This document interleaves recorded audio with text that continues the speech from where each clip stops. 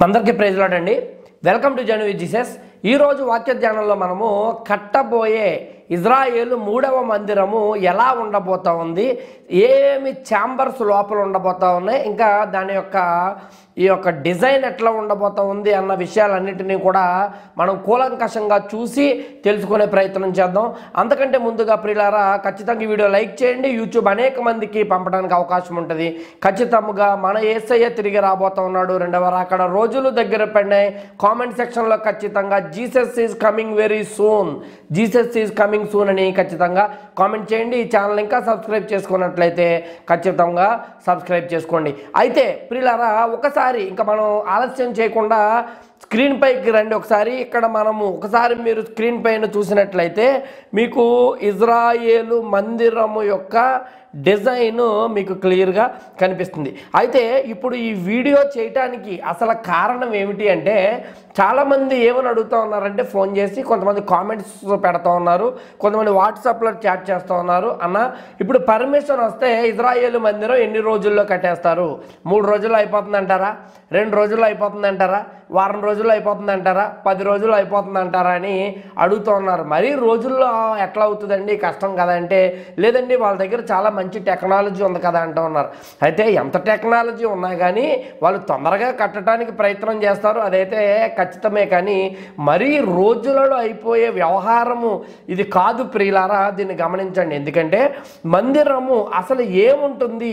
ఆ మందిరము చుట్టూ ఆ లోపల ఉన్న ఛాంబర్స్ ఏముంటాయి? అవన్నీ కూడా మీరు తెలుసుకున్నట్లయితే ఈ వీడియోలో అది ఎంత కష్టతరమో మీకు అర్థమవుతుంది అనే ఉద్దేశంతో ఈ వీడియో చేయడం జరుగుతుంది. ఒకసారి మీరు స్క్రీన్ పైన చూడండి. చూడండి interior design of J Jerusalem temple.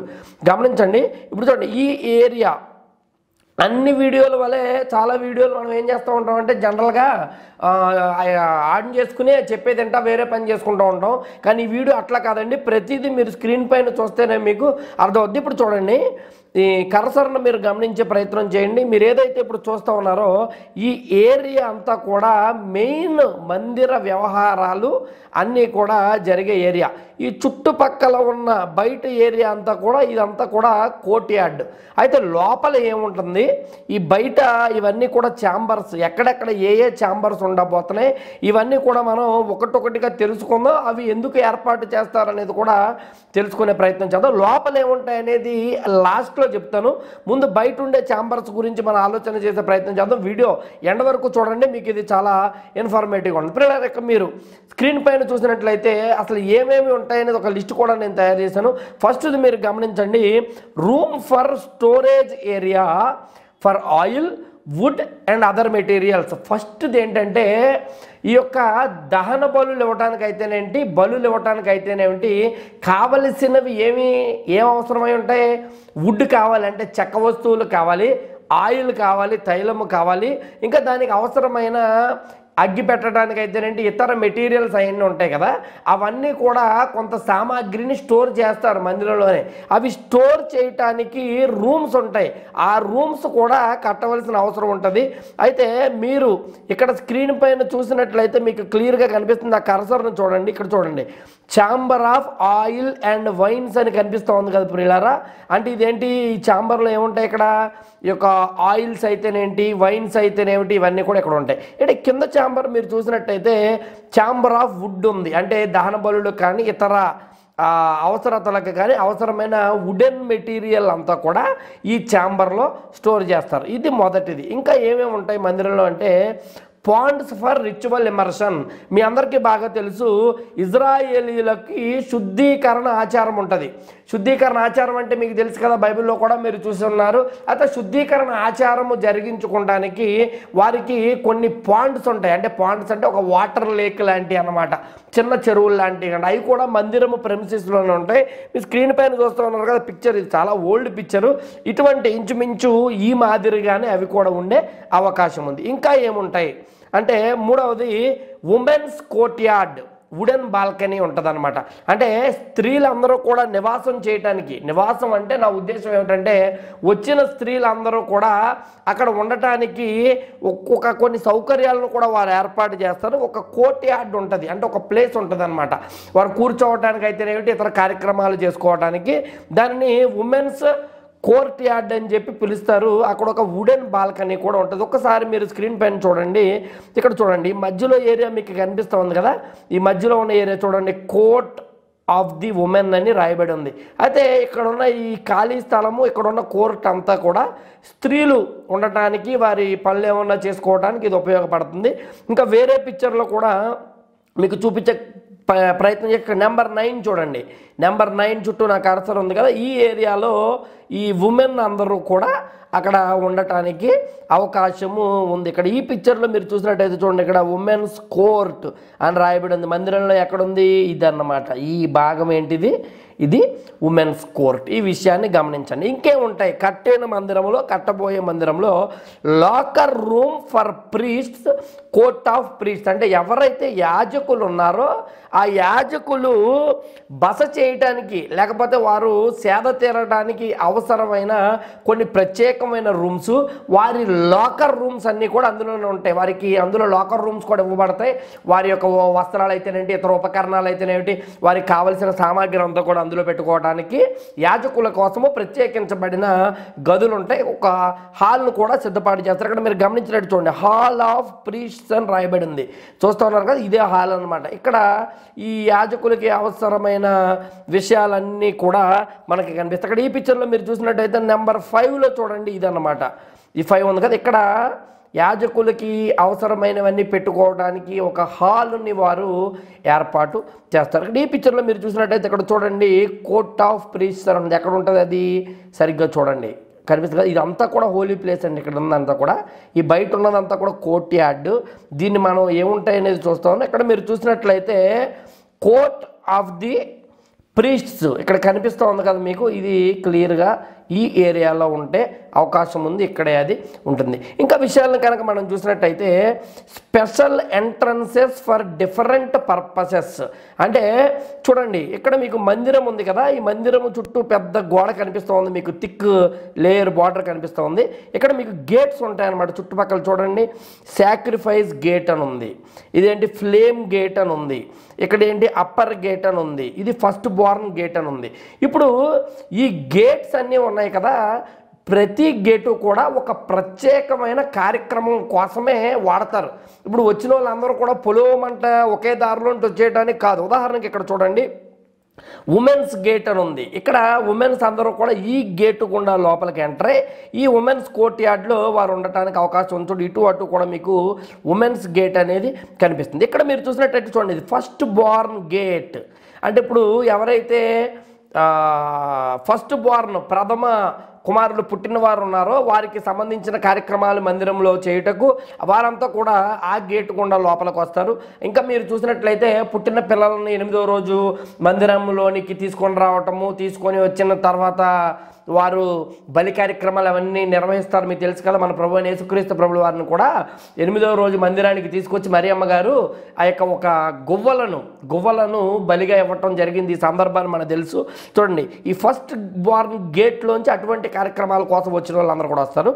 ఇక్కడ మీరు గమనించినట్లయితే నా కర్సర్ను మీరు జాగ్రత్తగా చూడాలి. కర్సర్ పాయింట్ ఎక్కడ ఉందో సాక్రిఫైస్ గేట్ అని ఉంది. అంటే ఏంటి? గొర్రెలను కానీ ఎడ్లను కానీ వేటినైతే మీరు బలి అర్పణ కోసం తీసుకొస్తూ ఉంటారో ఆ కార్యక్రమం కోసం మీరు వచ్చినప్పుడు వాటిని ఈ గేటు గుండా తీసుకొని రావాలి. అయితే ఈ కన్స్ట్రక్షన్లో ఈ గేట్లు కూడా ఒక పార్ట్ అనమాట అందుకని special entrances for different purposes అంటే ఒక్కొక్క అవసరతకు ఒక్కొక్క గేటు మనం అక్కడ మందిరానికి వెళ్ళే ఆ ఉద్దేశాన్ని బట్టి అక్కడ ఎంట్రీ పాయింట్ అనేది ఉంటుంది. దాన్ని గమనించాలి. ఇంకా తర్వాత platform for Levites to chat to to chant songs and music etcetera అంటే అక్కడ లేవీయులు. వారు లేవీయులు పాటలు పాడటానికి అయితేనేమిటి ఇంకా మీకు తెలుసు కదా గాన ప్రతిగానాలతో వారు దేవుణ్ణి స్థుతిస్తూ ఉంటారు. అవన్నీ కూడా వారు నుంచుని పాటలు పాడటానికి ఒక ప్లాట్ఫామ్ లాంటిది అక్కడ ఏర్పాటు చేయబడుతుంది. అంటే మీకు ఉదాహరణకు చెప్పాలంటే మనం చర్చుల్లో ఈ కాలంలో కూడా చూస్తూ ఉన్నాం. ఏం కనిపిస్తూ ఉన్నాయండి? కొన్ని మీకు డయాసులు కనిపిస్తూ ఉంటాయి కదా అక్కడ ఏం చేస్తారు? క్వైర్ టీం వారు వచ్చి వరుసగా నుంచుని పాటలు పాడుతూ ఉంటారు. క్వైర్ టీం అంటారు. సేమ్ అదే విధంగా ఇక్కడ చూడండి నా కర్సర్ పాయింట్ చూడండి టెంపుల్ ప్లాట్ఫామ్ అని మీకు కనిపిస్తుంది అనమాట కదా. ఈ ప్లాట్ఫామ్ మీదే యాజకు యాజకులు నుంచొని లేకపోతే నుంచునో కూర్చునో ఇక్కడ ఈ ప్లేస్లో వారు పాటలు పాడి దేవుణ్ణి స్థుతిస్తూ ఆరాధిస్తూ మ్యూజిక్తో అలాగే గాన ప్రతిగానాలతో దేవుణ్ణి గణపరుస్తూ ఉంటారు. ఈ ఏరియా కూడా కన్స్ట్రక్ట్ చేయవలసిన అవసరం ఉంది. మీకు అర్థమవుతుంది కదండి? ఇప్పుడు మూడవ మందిరం కన్స్ట్రక్షన్ ఎట్లా ఉండబోతా ఉంది? ప్లాను బయట ఎలా ఉంటుంది? లోపల ఎలా ఉంటుంది అనేది మీకు నేను వివరిస్తా ఉన్నాను తర్వాతది lounge for temple officials and treasury. అయితే ఇక్కడ మీరు గమనించే ప్రయత్నం చేయండి. ఇక్కడ పిక్చర్ నెంబర్ వన్లో మనం చూసినట్లయితే ఇక్కడ చూడండి హాల్ ఆఫ్ ప్రీస్ట్ ఉంది కదా యాజకుల కోసం హాలు. ఇక్కడ హాల్ ఆఫ్ ఇజ్రాయలైట్స్ ఉంది కదా ఈ భాగంలోనే అక్కడ ఉన్న అఫీషియల్స్ కోసం ఎవరైతే కొంతమంది పెద్దలు మత పెద్దలు అయితే ఉంటారో వారందరూ ఉండుటకైతేనేమిటి? ఇంకా చెప్పాలంటే ట్రెజరీ అన్నమాట. ట్రెజరీ కూడా అక్కడే ఉంది. ట్రెజరీ అంటే ఈ మందిరానికి వచ్చే సంపద అయితేనేంటి దానికి సంబంధించిన విలువైన వస్తువులన్నీ కూడా పెట్టే స్థలము ఈ ఏరియాలో ఉంటుంది. ఇది కూడా కన్స్ట్రక్షన్లో ఒక భాగము. ఇంకా ఏముంటాయి? నెక్స్ట్ ఇది మీరు చూడండి క్లియర్గా లిస్ట్ చేశాను నేను ఎక్సల్ షీట్లో. చారిటీ రూమ్ ఉంటుంది. ప్రియులారా చారిటీ అనేది ఇజ్రాయేలీలకి చాలా ప్రాముఖ్యమైన విషయం. దానికోసం కూడా ఒక రూమ్ని ఏర్పాటు చేయడం జరిగింది. నెక్స్ట్ది హాల్ ఫర్ తోరా స్టడీ. అంటే వారి యొక్క గ్రంథాన్ని ధ్యానించటానికి చదువుకోవటానికి ఒక ప్రత్యేకమైన హాల్ ఉంటుంది. ఆ హాల్లో ఆ తోరా స్టడీ అంటే మనం బైబిల్ స్టడీ చేసినట్టు వారు ఆ తోరా స్టడీ అంతా కూడా చేస్తూ ఉంటారు. మీరు బైబిల్ గ్రంథంలో చూసినట్టయితే మన ప్రభు అయిన యేసుక్రీస్తు ప్రభులు వారు ఇజ్రాయేల్ మందిరములోనికి వెళ్ళి ఆయన అక్కడ వారికి బోధించాడని కొన్ని సందర్భాల్లో రాయబడి ఉంది కదా. ఇక్కడ ఇది హాల్ ఫర్ తోరా స్టడీ. ఆ ప్రత్యేకమైన హాల్లోనే ఈ బోధనా కార్యక్రమాలన్నీ కూడా జరుగుతాయి. ఆయన కూడా అలాగే చేసేవారు. తర్వాతది ఛాంబర్ ఫర్ సన్హెడ్రిన్. సన్హెడ్రిన్ అనేది యోగా పెద్దలు ఉండే సభ అన్నమాట.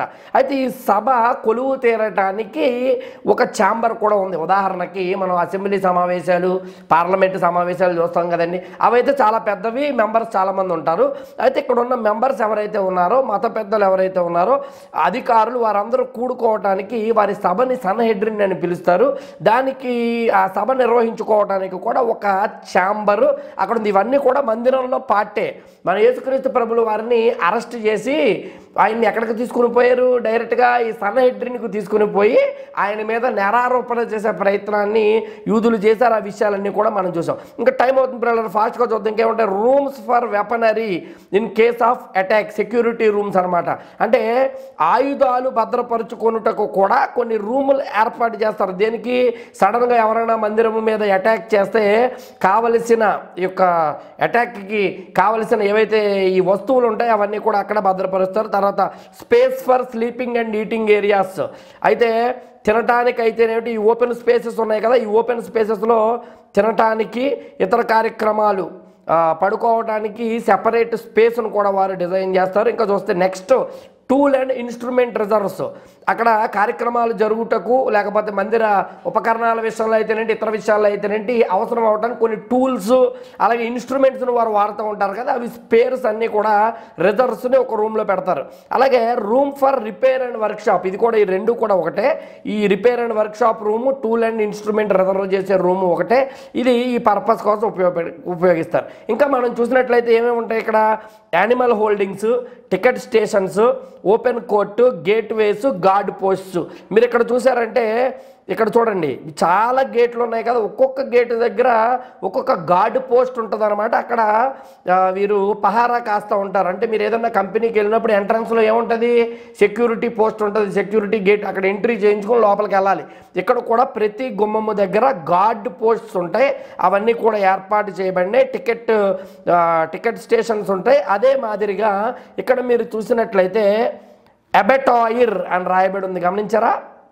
ఈ ఎబెటాయిర్ అంటే అర్థం ఏమిటి అంటే స్లాటర్ హౌస్ అంటారనమాట అంటే స్లాటర్ హౌస్ అంటే వచ్చిన యానిమల్స్ అన్నిటినీ కూడా బలిచ్చుటకు ఆ కార్యక్రమాలన్నీ కూడా జరిగించుటకు అవసరమైన స్థలము. ఇది ప్రియులరా ముఖ్యంగా ఇప్పటి వరకు మనం చూసిన ఐటమ్స్ నేను మీకు పదిహేను రకాలైన జెరూసలేం టెంపుల్ ఇంటీరియర్ డిజైన్లో పదిహేను రకాలైన విషయాలను ఇక్కడ లిస్ట్ చేశాను కదా. ఈ ఈ అవసరతలకు అవసరమైన ప్రత్యేకమైన కోర్ట్ యార్డ్స్ కానీ రూమ్స్ కానీ స్పేసెస్ కానీ ఏర్పాటు చేయవలసిన అవసరత అలాగే కన్స్ట్రక్ట్ చేయవలసిన అవసరత ఉంటుంది. ఇంకా ఇదంతా కూడా ఇప్పుడు అవుటర్ స్టడీ అన్నమాట. ఇప్పుడు ఇన్నర్ స్టడీ ఇప్పుడు ఈ అసలు holy place most holy place ఇందులో ఏముంటుందంటే ఒక మొక్కలో మీకు అర్థం అవ్వాలంటే ఒక పైసారి మీరు స్క్రీన్ పైన చూడండి గమనించండి. ఇది ఓవరాల్గా క్లియర్గా అంటే ఒక మాటలో చెప్పగలిగిన డిజైన్ మీకు ఇక్కడ కనిపిస్తుంది? ఏముంటుంది? ఇది చూడండి. ఇదంతా కూడా హోలీ ప్లేస్. ఇది మధ్యలో ఇక్కడ తెర ఉంటుంది. ఇది మోస్ట్ హోలీ ప్లేస్ అనమాట అంటే ఇది అతి పరిశుద్ధ స్థలము. ఇది పరిశుద్ధ స్థలము. అతి పరిశుద్ధ స్థలంలో దేవుని మందసం ఉంటుంది మీకు బాగా తెలుసు. ఈ పరిశుద్ధ స్థలానికి అతి పరిశుద్ధ స్థలాన్ని వేరు చేస్తూ ఇక్కడ ఒక కర్టెన్ ఉంటుంది. మీకు తెలుసు కదా? అందుకే యేసుక్రీస్తు ప్రభులు వారు చనిపోయినప్పుడు దేవాలయపు తెర చినిగిపోయేను అని రాయబడి ఉంది కదా? అదే ఈ కర్టెన్ అన్నమాట. అయితే ఈ అతి పరిశుద్ధ స్థలం ఇది ఇది పరిశుద్ధ స్థలం. ఇక్కడ ఏముంటాయి ఇది దీపస్తంభము. చూడండి ఏడు దీపాలు వెలిగేటటువంటి దీపస్తంభము. ఇది దూపవేదిక. ఇది టేబుల్ ఆఫ్ షోబ్రెడ్ అంటే సన్నిధి రొట్టెల బల్ల. ఇక్కడ పన్నెండు ఈ యొక్క రొట్టెలను ఇక్కడ పెడతారు. ఇజ్రాయేలీల పన్నెండు గోత్రాలకు సాదృశ్యంగా బైబిల్లో మీరు చదువుకున్నారు ఇది ఓవరాల్గా హోలీ ప్లేస్. ఇది మోస్ట్ హోలీ ప్లేస్. ఇది హోలీ ప్లేస్. అతి పరిశుద్ధ స్థలం పరిశుద్ధ స్థలం. మధ్యలో కర్టన్ ఉంటుంది. అతి పరిశుద్ధ స్థలంలో మందస్సం ఉంటుంది. పరిశుద్ధ స్థలంలో ధూపవేదిక దీపస్తంభము. ఇక్కడ మీరు చూసిన సన్నిధి రొట్టెల బల్ల కనిపిస్తాయి. ఇది అవుటర్ కోర్ట్లో ఏముంటుందంటే ఇది మీరు గమనించినట్లయితే ఏమిటి? ఇది బలిపీఠము. ఆల్టర్ అంటారు ఇదేమంటారు? గంగాలము అంటారు. అంటే వాష్ వాషింగ్ చేసుకోవడానికి అవసరమైన వాటర్ ఉండే స్థలం. ఇప్పుడు వ్యక్తులు ఎవరైనా సరే ఇటు నుంచి ఇలా మందిరంలోనికి వచ్చి ఇక్కడ ఏమైనా వారు బలులు అర్పించినట్లయితే అర్పించి లేకపోతే ఇక్కడ వారి శుద్ధీకరణ చేసుకుని ఈ గంగాలముతో నీళ్ళతో వారు పాదాలు కడుక్కుని పవిత్రపరుచుకొని లోపలికి వెళ్తారు. ఇక్కడ యాజకులు చేసే కార్యక్రమాలన్నీ కూడా ఇక్కడ జరుగుతాయి. దీపస్తంభము ధూపవేదిక సన్నిధి రొట్టెల బల్ల ఇవన్నీ యాజక క్రమాలలో ఉపయోగపడతాయి. ఇక్కడ మీరు చూస్తున్న ఆర్క్ లోపల అతి పరిశుద్ధ స్థలంలో దేవుని మందసము ఉంటుంది. ఇది క్లియర్ పిక్చర్. ఇప్పుడు ఒక్కసారి ఈ పిక్చర్ చూడండి. ఇదంతా కూడా మందిరం యొక్క డిజైన్. మీకు డార్క్గా కనిపిస్తుంది. ఇదంతా కూడా అవుటర్ వాల్. ఇక్కడ మీకు గేట్లు కనిపిస్తా ఉన్నాయి. ఇవన్నీ ఎంట్రన్స్ గేట్స్. ఇది అంతా కూడా లోపల ఉన్నదంతా కూడా హోలీ ప్లేస్లో ఏముంటుంది? అతి పరిశుద్ధ స్థలం పరిశుద్ధ స్థలంలో ఏముంటాయి? అన్నీ కూడా నేను మీకు చూపించాను. అలాగే అది ఒక పార్ట్ అయితే బయట ఉన్న అవుటర్ పార్ట్ కోర్ట్ ఏరియా అంటారు. దీంట్లో ఏమేమి కన్స్ట్రక్ట్ చేయవలసి ఉంటుందో ఈ లిస్ట్ అంతటిని కూడా మీకు చూపించడం జరిగింది. మీరు చూశారు ఇది ఇజ్రాయేలీల మందిరము. ఇలాగ ఉండేది. ఇప్పుడు కట్టబోవుచున్న మూడవ మందిరము కూడా సేమ్ ఇలాగే ఉంటుంది ఉండాల్సిన అవసరత ఉన్నది అన్న విషయాన్ని గమనించండి. అయితే నైంటీ పర్సెంట్ ఇలాగే ఉంటుంది? సాధ్యమైన విషయాలన్నీ కూడా నేను లిస్ట్ చేసే ప్రయత్నము మీకు చేయటం జరిగింది. అయితే టెక్నాలజీ పరంగా ఏదైనా కొత్త టెక్నాలజీ వాడచ్చు. బయటికి కనిపించే అవుటర్ స్ట్రక్చర్స్ ఏమన్నా నేటి కాలానికి అనుగుణంగా వారు మార్చవచ్చు కానీ ఇంటీరియర్గా లోపల ఉండే వస్తువులు అయితేనేంటి వాడే ఉపకరణాలు అయితేనేంటి అక్కడ మీకు కనిపిస్తా ఉన్న ఆ విధానము అక్కడ వారు ఏర్పాటు చేసిన స్పేసెస్ అయితేనేమి ఏమిటి అవన్నీ కూడా ఇంచుమించుగా ఇలాగే మూడవ మందిరములో ఉండటానికి అవకాశం ఉంది ఈ విషయాన్ని గమనించండి. పిల్లలు మీకు ఇప్పటి వరకు క్లియర్గా ఇంటీరియర్లో ఏముంటుంది? అవుటర్ కోర్ట్లో ఎన్నెన్ని ఛాంబర్స్ డివైడ్ అయి ఉంటాయి అవన్నీ కూడా నేను మీకు చూపించాను. కట్టబోతున్న మూడవ మందిరం గురించి దాని డిజైన్ పూర్తిగా మీకు అర్థమైందని నేను నమ్ముతున్నాను. పిల్లరా మేము ఎంతో ప్రయాసపడి గంటల గంటలు వర్క్ చేసి విషయాలను సేకరించి మీ ముందుకు తెచ్చే ప్రయత్నం చేస్తా ఉన్నాం. దీనికి ఎంతో ప్రయాస అవసరమై ఉంది. మా ప్రయాస మీకు నచ్చినట్లయితే ఖచ్చితంగా ఈ ఛానల్ని మీరు సబ్స్క్రైబ్ చేసుకోండి. చాలామంది సబ్స్క్రైబ్ చేసుకోకుండా చూస్తున్నారు. దయతో సబ్స్క్రైబ్ చేసుకోండి. అయితే ఈ మందిరం యొక్క వివరాలు మీకు అర్థమైన నేను నమ్ముతున్నాను లైక్ చేయండి షేర్ చేయండి సబ్స్క్రైబ్ చేయండి. దేవుడు మన దేశమును దీవించను గాక అమెన్